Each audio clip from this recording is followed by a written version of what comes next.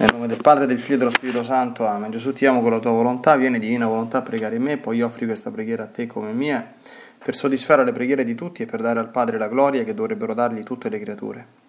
Mia Divina Maria, ti amo nella divina volontà, Regina Immacolata, Celeste Madre mia, vengo sulle tue ginocchia materne per abbandonarmi nelle tue braccia per chiederti quei sospiri più ardenti che mi ammetta a vivere nel regno della divina volontà. Mamma Santa, tu che sei la regina di questo regno, ammettimi a vivere in esso, affinché non sia più deserto, ma popolato dai figli tuoi. Perciò, sovrana regina, a te mi affido, affinché guidi i miei passi. Nel regno del volere divino e stretto alla tua mano materna guiderai tutto l'essere mio, perché faccia vita perenne nella divina volontà.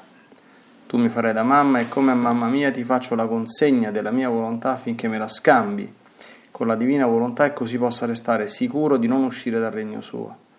Perciò ti prego che mi illumini attraverso questa meditazione per farmi comprendere sempre più e sempre meglio che cosa significa volontà di Dio e come vivere in essa. Ave Maria, piena di grazia, il Signore è con te. Tu sei benedetta fra le donne e benedetto il frutto del tuo seno Gesù. Santa Maria, Madre di Dio, prega per noi peccatori adesso e nell'ora della nostra morte. Amen. La figlia di Sion tu sei l'arca di una nuova alleanza. Nel Tempio tuo figlio hai donato come offerta per noi. La stella del mare tu sei, che veglia sul nostro cammino e accoglie con cuore di madre il grido dei figli suoi. Rivolgi a noi gli occhi tuoi madre di misericordia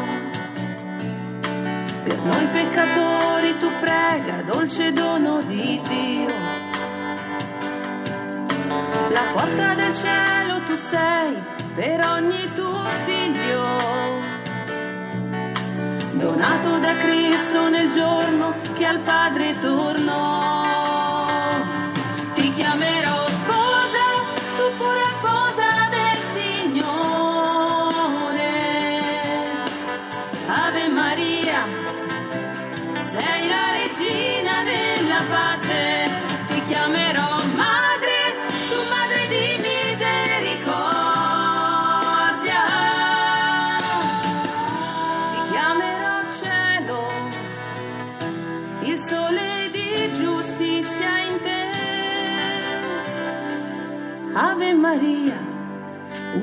Serva dell'amore, madre di Dio.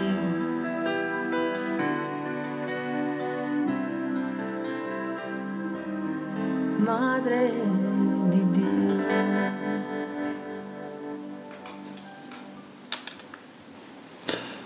Dal Libro di Cielo, volume 19, 31 marzo 1926. Figlia mia, tu devi sapere che la mia mamma celeste potette concepire me, Verbo eterno,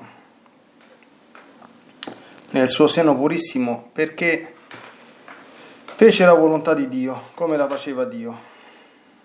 Tutte le altre prerogative che possedeva, cioè verginità, concepimento senza macchia originale, santità, mari di grazia che possedeva, non erano mezzi sufficienti per poter concepire un Dio, perché tutte queste prerogative non le davano né l'immensità né l'onniveggenza per poter concepire un Dio immenso e che tutto vede, e molto meno la fecondità per poterlo concepire.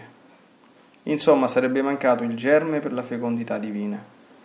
Invece col possedere il supremo volere come vita propria e col fare la volontà di Dio come la faceva Dio, ricevette il germe della fecondità divina e con esso l'immensità, l'onniveggenza. Perciò in modo connaturale potetti essere concepito in lei. Non mi mancava né l'immensità né tutto ciò che all'essere mio appartiene. Questo fare la volontà di Dio come la fa Dio fu il punto più alto, il più sostanzioso, più necessario per la mamma mia, per ottenere il sospirato Redentore. Tutte le altre prerogative furono la parte superficiale, la decenza, il decoro che a lei conveniva. Così è per te. Se vuoi ottenere il sospirato fiat, devi giungere a questo, di fare la volontà di Dio come la fa Dio. volume 19, 16 aprile 1926. Tale fu la vita della mamma mia, divina. Essa fu la vera immagine del vivere nel mio volere. Il suo vivere in esso fu tanto perfetto che non faceva altro che ricevere continuamente da Dio ciò che conveniva fare per vivere nel supremo volere. Riceveva l'atto dell'adorazione suprema, per potersi mettere in cima ad ogni adorazione che tutte le creature erano obbligate a fare verso il loro creatore, perché la vera adorazione ha vita nelle tre divine persone, la nostra concordia perfetta, il nostro amore scambievole, la nostra unica volontà, formano l'adorazione più profonda e perfetta nella Trinità Sacrosante. Quindi se la creatura mi adora, la sua volontà e la sua volontà non sta in accordo con me, è parola vana, non adorazione. Perciò la mia mamma tutto prendeva da noi, per potersi diffondere in tutto e mettersi in cima ad ogni atto di creatura, in cima ad ogni amore, ad ogni passo, ad ogni parola, ad ogni pensiero, in cima ad ogni cosa creata.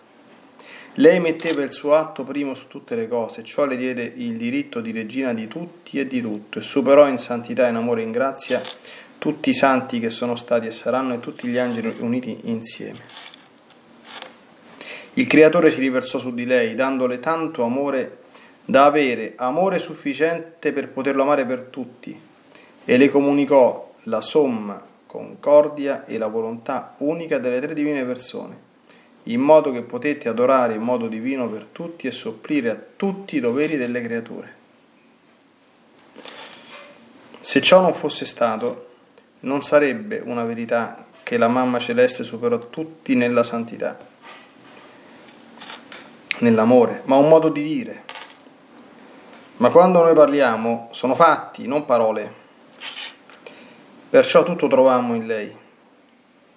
Avendo trovato tutto e tutti, tutto le demmo, costituendo la regina e madre dello stesso creatore. Tu devi essere l'eco nostro, l'eco della mia mamma celeste, perché fu solo lei che visse perfettamente e pienamente nel supremo volere perciò ti può essere guida e farti da maestra. Ah, se tu sapessi con quanto amore ti sto d'intorno, con quanta gelosia ti vigilo affinché non sia interrotto il tuo vivere nel mio eterno volere. Tu devi sapere che sto facendo più con te che con la mia stessa mamma celeste, perché essa non aveva i tuoi bisogni, né le tendenze, né le passioni che potessero minimamente impedire il corso della mia volontà in lei. Con somma facilità il Creatore si riversava in lei e lei in lui, quindi la mia volontà era sempre trionfante in lei, perciò non aveva bisogno né di spinte né di ammonizioni.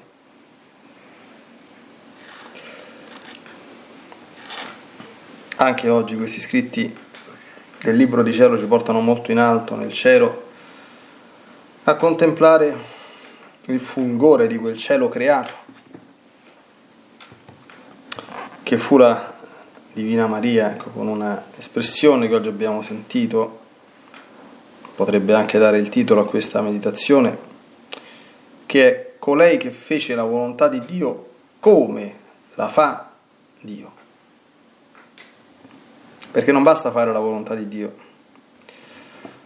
occorre fare la volontà di Dio come la fa Dio.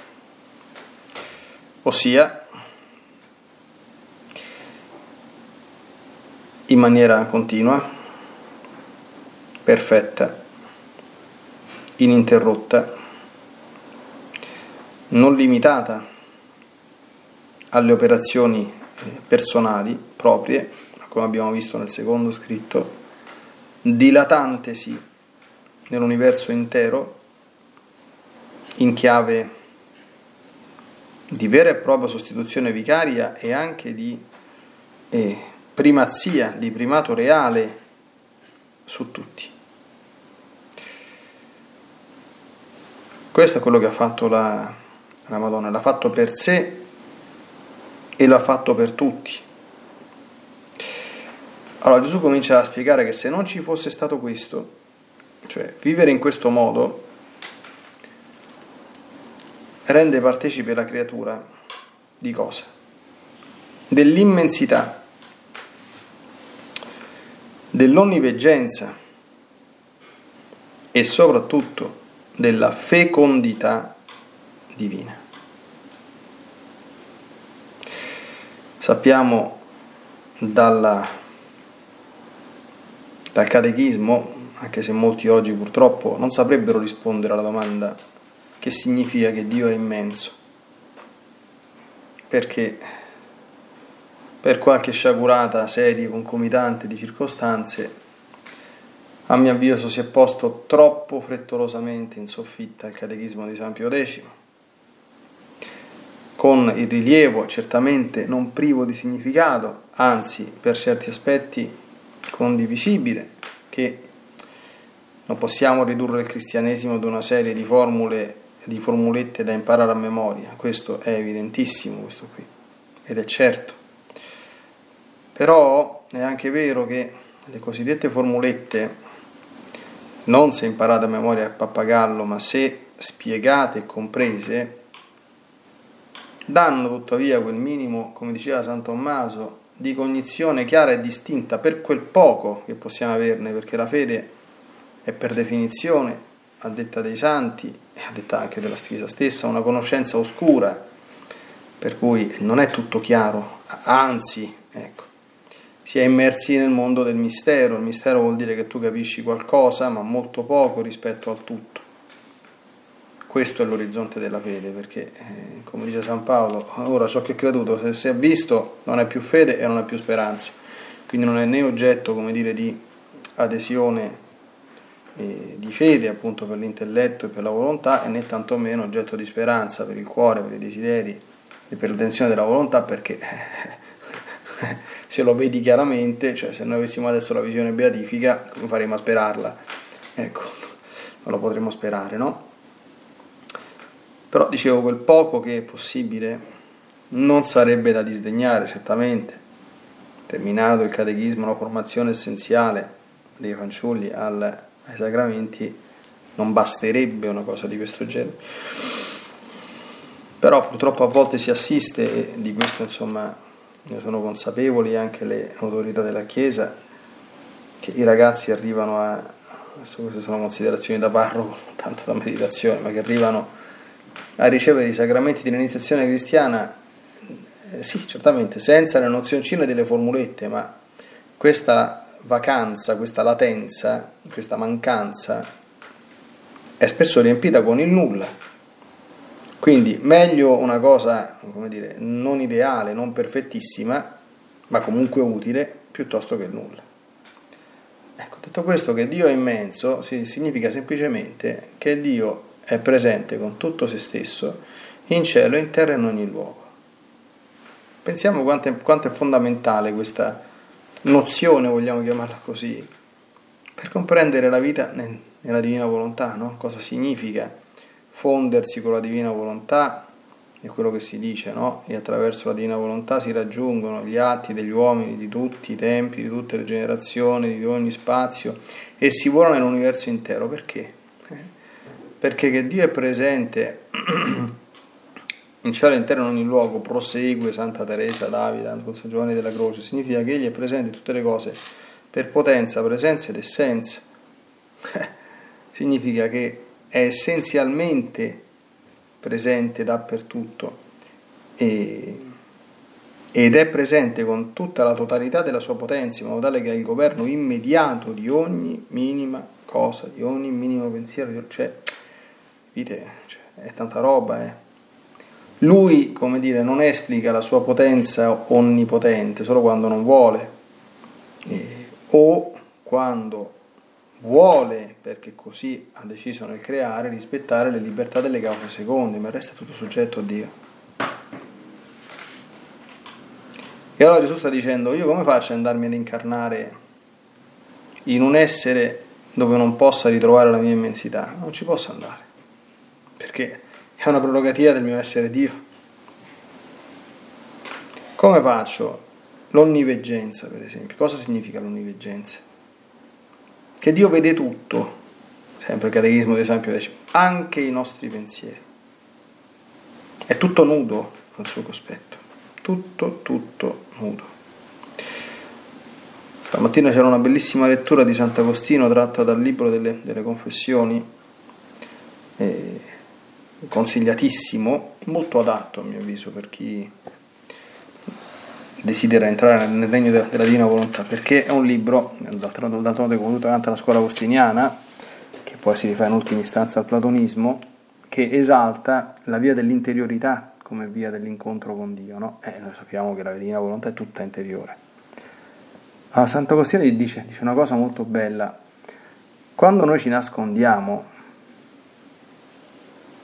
e, e ci nascondiamo dagli occhi di Dio, in realtà ci nascondiamo, noi nascondiamo Dio a noi stessi e noi stessi a noi stessi. Perché dinanzi a Dio non è possibile nascondersi, possiamo. E, e se noi imparassimo ecco, a lasciarci guardare da Dio come Lui ci guarda, d'accordo? Ma semplicemente prendere coscienza di questo e come dobbiamo fare a saperci mettere davanti a Lui nei nostri pensieri, nelle nostre scelte, nelle nostre cose. Uh, quante cose cambierebbero, quanti peccati in meno faremmo, quanto tempo in meno perderemmo, come sarebbe tutto più facile perché il Signore non desidera altro, cioè perché la Madonna ha fatto la divina volontà come la fa Dio? Perché la voleva fare, veramente, non per scherzo. Non per scherzo l'ha deciso il giorno, il momento stesso in cui è stata concepita, io la mia volontà non la voglio manco conoscere. Ma io dico, ti pare che dinanzi ad una cosa di questo genere Dio, che non desidera altro che la sua volontà sia fatta in terra come in cielo, non glielo fa fare? E quindi possiamo dirci al contrario, perché io, non dico non faccio la volontà come la fa Dio, ma manco la faccio tanto bene? Perché non voglio, perché in realtà non voglio. Sì, posso illudere, posso fare questo, questo, quest'altro, no? E ci sono sempre le famose spie, le famose spie, le mai sufficientemente poste domande che dobbiamo in continuazione porci. Cosa sto facendo? Cosa sto pensando? Perché lo sto pensando? Per chi lo sto pensando? È un pensiero che Gesù farebbe, è un pensiero che la Madonna farebbe, è una parola che Gesù direbbe, è una parola che la Madonna direbbe, è un'azione che Gesù farebbe, è un'azione che la Madonna farebbe. Come dice eh, Gesù nella parte finale del secondo scritto, per noi ci vogliono molti più aiuti che per la Madonna, perché la Madonna era, questa era una cosa, come dire, connaturale eh, quindi perché? Con naturale è anche un pochino più facile perché lei era comunque l'Immacolata Concezione. Quindi non c'erano passioni impazzite come in noi, non c'erano tendenze disordinate come in noi, non c'erano certi bisogni come in noi. Quindi, e Gesù e Maria lo sanno che per noi non è così semplice, d'accordo? Anzi, tutt'altro ma non lasciano assolutamente di far pervenire a chi realmente lo vuole tutti gli aiuti possibili e immaginabili, anzi addirittura sono disposti a scomodarsi più con una creatura, eh, come dire, ferita dalla, dalla colpa d'origine con, la, che con la madre stessa di Dio. Eh, questa è una cosa, una cosa bella sapersi nonostante la nostra indegnità, no? proprio per quella misericordia di Dio, quella vera misericordia di Dio, quella bella misericordia di Dio che si china verso il bisogno della creatura e che il fatto che sia un po' più difficile non vuol dire che sia impossibile. Ecco, però qui senza la nostra volontà non si canta messa, non si fa niente. Ecco, dobbiamo sempre imparare bene, ecco, a fronte delle sciocchezze che qualche tempo fa andava cianciando insomma, qualche sedicente teologo insomma, che ci capisce ben poco, insomma, no? Noi dobbiamo ricordare che, fermo restando l'attesa del giudizio definitivo della Chiesa, gli scritti di Luisa sono stati dichiarati aventi nulla di contrario alla fede nel 1994. Quindi meditare su queste cose non ci può portare fuori dell'ortodossia cattolica. Ora, è bene precisare che nella divina volontà la volontà umana non è che scompare, d'accordo? O resta fusa cioè resta fusa in modo tale da non avere più una, come dire, individualità sua propria. Questo non è vero in Gesù Cristo, perché Gesù Cristo aveva due volontà, appunto una divina e una umana. E il merito, tutto quello che lui ha fatto, l'ha fatto in quanto uomo e la meritorietà di tutto quello che ha fatto, l'ha fatto proprio perché come uomo l'ha fatto in unione assoluta, ininterrotta e perfetta con la divina volontà che era in lui. Eh. Il fatto che si parli di fusione che non rima- e che, che, non siano, come si dice in alcuni stritti, no, due volontà distinte e opposte, dipende dal fatto che nell'amore l'anima aderisce completamente a quello che Dio vuole, senza nessuna difficoltà, perché ha fatto questa opzione fondamentale, ha fatto questa scelta meditata, convinta, che se io mi muovo anche di un millimetro da quello che Dio vuole, vado alla rovina, non lo faccio. E quindi faccio questa operazione non per forza come un servo, come qualcuno che sente un'imposizione dall'esterno, ma volentieri come un figlio libero che si abbandona nelle mani del padre. Quando si parla di rigettare la propria volontà umana, non è cancellare la facoltà spirituale della volontà, sia chiaro questo qui, ma ogni esercizio di essa, esercizio di essa, che sia contrario, anche minimamente al divino volere, per così, io, per così io so che una piccolissima cosa non è gradita a Dio, non la faccio. Ecco. Ma non, cioè, questo determina un, un, altro modo di vivere e si sperimenta la pienezza della libertà. Io faccio tanti, tanti esempi. No? Molte volte a me come sacerdote, è successo in passato e succede nel presente, si fanno domande molto specifiche, molto concrete. Che cosa devo fare? Questo lo posso fare? Questo lo posso usare? Posso mettermi questo vestito? Cioè, cioè eh, così. Allora, tutte queste domande sono di per sé stesse legittime, ma non bisogna farle a persona esterna a noi, eh, a cui si dà, come dire, una sorta di credito a scatola chiusa e ci si adegua a quello che dice, come dire, pedissequamente, senza interiorizzare i valori che ci stanno alla base. I valori che ci stanno alla base, che sono operazioni che si fanno davanti a Dio, sia nell'interno che nell'esterno facendo attenzione a curare maggiormente, peraltro, quelli dell'interno, perché come spiega Gesù all'inizio del secondo paragrafetto,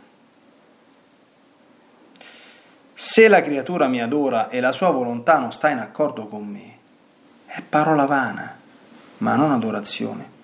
Qui ho immediatamente pensato, quando, quando leggevo questa cosa, a quella frase che Gesù dice alla Samaritana in quel discorso importantissimo del Vangelo di San Giovanni, dove c'è anche l'elogio del fare la divina volontà, il mio cibo è fare la volontà di colui che mi ha mandato e compiere la sua opera, no? quindi la volontà di Dio come alimento dell'anima, no? il famoso discorso dei tre pani con cui l'anima si alimenta, la parola di Dio, l'Eucaristia e la divina volontà. Ecco, e questi sono la parola di Dio, l'Eucaristia e la divina volontà, come dire, in ordine crescente, perché il cibo eucaristico, anche il cibo eucaristico, non dimentichiamolo mai, è un cibo funzionale Certamente ha un godimento in sé, chi fa una buona comunione può godere della presenza di Dio già qui, ma è una presenza temporanea e limitata. Ma se uno fa la comunione e non fa la volontà di Dio, ma che l'ha fatta a fare la comunione, quando l'Eucaristia stessa è un atto della divina volontà e il motivo per cui Gesù l'ha istituita è che la, nostra, è che la grazia presente in noi con ogni comunione si accresca, cresca, cresca, cresca, cresca sempre di più, non diventi un'abitudine, una routine che non produce frutti nella nostra anima e che diventa una cosa, non ci diciamo assolutamente inutile per rispetto all'Eucaristia, ma veramente di poco valore se fatta in maniera superficiale. No? A Gesù la Samaritana dice, quella gli va a chiedere, senti la, eh, la domanda da, da, da, bambino nella fede, no? dice, senti un po', eh, noi adoriamo, loro erano samaritani, noi adoriamo il Signore sul monte Carizim, Mentre i giudei dicono che bisogna adorarlo in Gerusalemme, ma dove dobbiamo adorarlo? E Gesù risponde, guarda, no, figlia mia, è giunto il momento che non ce ne importa niente del Monte Garizim di Gerusalemme. Attenzione, ma i veri adoratori adoreranno il Padre, questa è una frase in spirito e verità, perché il Padre cerca tali adoratori. Cosa significa in spirito e verità? Quello che Gesù ha detto.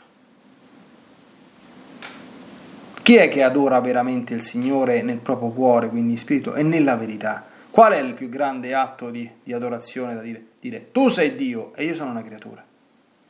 Quindi quello che tu fai è grande, quello che faccio io è nulla. Quello che vuoi tu è giusto e quello che voglio io conta nulla. Questo significa adorare Dio. Certo che poi c'è anche il gesto esterno della, dell'adorazione, ma generalmente i gesti esterni sono espressione dei gesti interni non possiamo noi vivere una schizofrenia o dicotomia interiore, d'accordo? Se una persona vive in questo atteggiamento di intima riverenza dinanzi al Signore, che è la cosa più importante, cioè, intima riverenza, io sto sotto, sotto, i suoi occhi, sto davanti a Lui e, e cerco, e nella divina volontà questo diventa sempre più intenso, sempre più frequente, sempre più vero, di prenderne coscienza che sto davanti a Lui e cerco di fare il possibile per... Ma ti pare che se entro in chiesa e so che c'è la presenza reale di Gesù non faccio la genuflessione? O durante la consacrazione della, della messa, quando sta il sacerdote sta chiamando, quando il verbo sta scendendo attraverso le sue mani dal cielo e si fa presente veramente in mezzo a noi, io sto in piedi o sto seduto, ma cioè,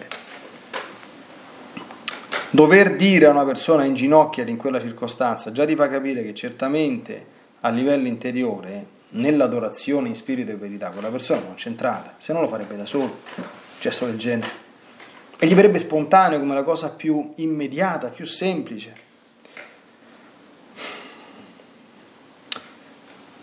Una cosa che io sto comprendendo con questi bellissimi scritti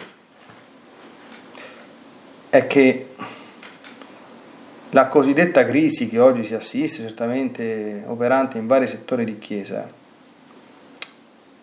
per certi aspetti è anche proprio, come dire, crisi di interiorità, crisi di coscienze, cioè questo nostro tempo così pieno anche di possibilità, di nuovi sbocchi, insomma, per certi aspetti foriero, insomma, di, di molte belle cose, ha però questo, questo limite, ci proietta tutti fuori di noi, ci estromette dalla nostra esistenza. E se noi non stiamo ben saldi dentro noi stessi, non impariamo questo dialogo tu per tu, pensiamo, la Madonna in continuazione stava andando, girando per tutto l'universo a porre i suoi ti amo, c'era detto qui, no? ha messo l'atto primo in tutte le cose, si è preoccupata di non soltanto di fare tutto per Dio, ma di dare a Dio da parte di tutti quello che tutti dovrebbero dare e che nessuno gli dà, anche, anche, anche per me, anche per te. Tutta l'adorazione che a Dio è dovuto, tutto l'amore che Dio è dovuto, tutta la santità che Dio è dovuto, le opere buone, le preghiere, le ha già fatte la Madonna anche per te e per me, ha già fatto tutto. Quindi, ma è chiaro che per vivere in questo modo, ma come, cioè, capito?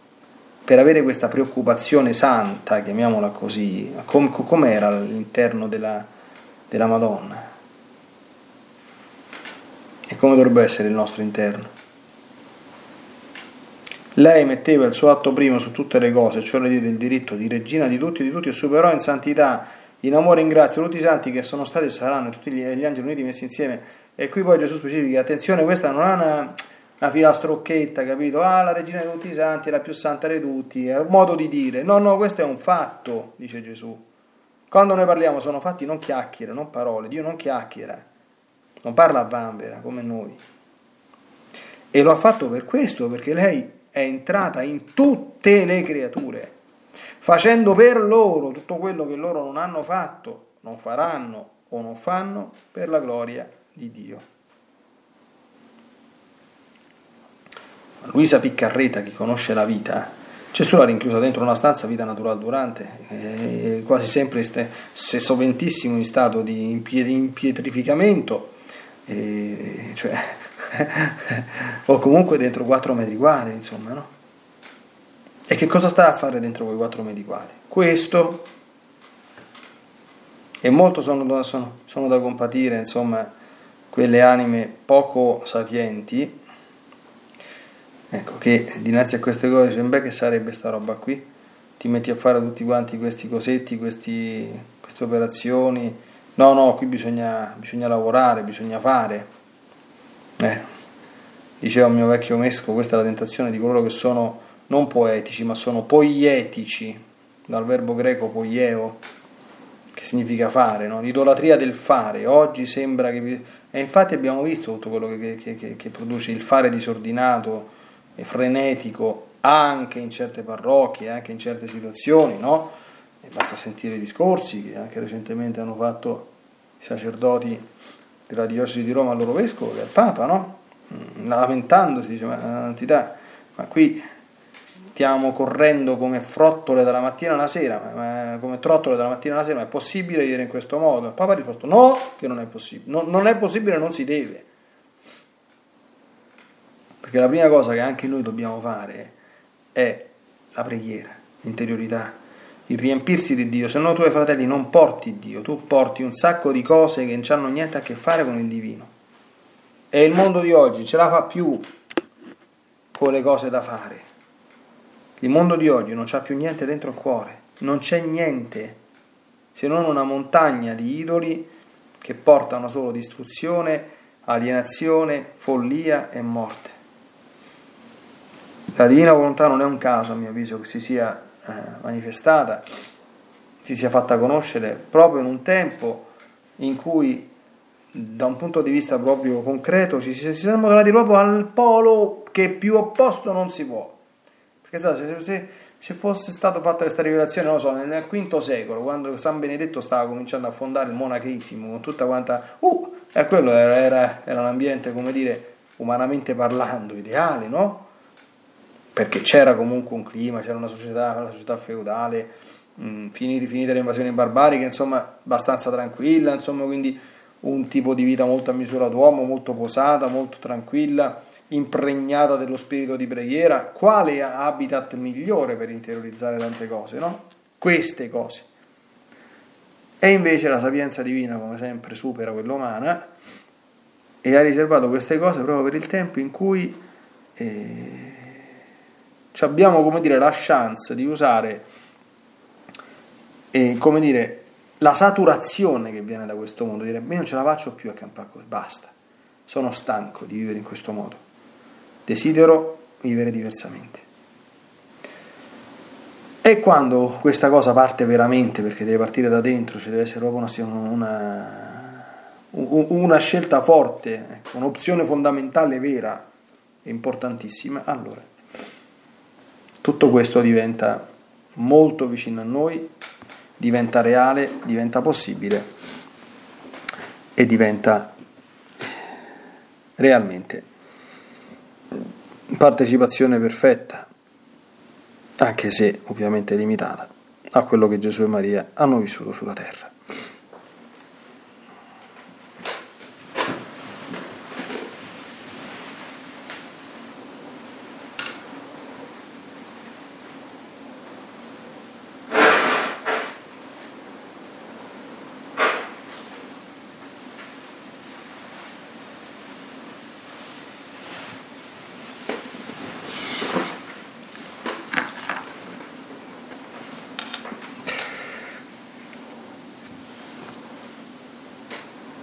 Bene, Divina Maria, oggi ti abbiamo conosciuta come colei che fece la volontà di Dio come la fa Dio, immagine vera del vivere nel divin volere,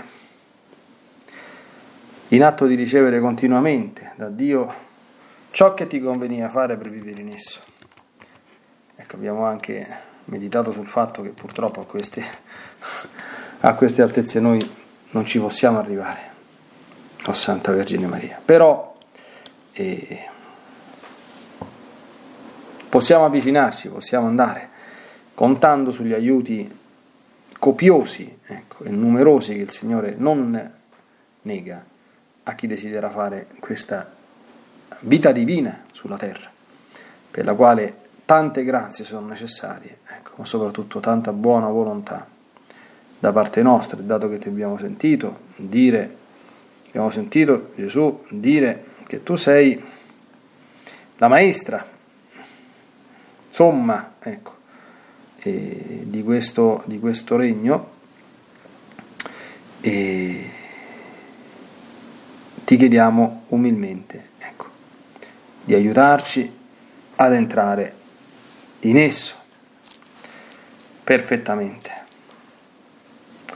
Ecco, te lo chiediamo con tutto il cuore e ti chiediamo la grazia di aiutarci ad entrare a vivere in esso. Nella divina volontà, nel nome del Padre, del Figlio e dello Spirito Santo. Amen. Ti benedico per aiutarti, ti benedico per difenderti, ti benedico per perdonarti, ti benedico per liberarti da ogni male, ti benedico per consolarti, ti benedico per farti santo, ti benedico dunque nella divina volontà, nel nome del Padre, del Figlio e dello Spirito Santo. Amen. Fiat Ave Maria.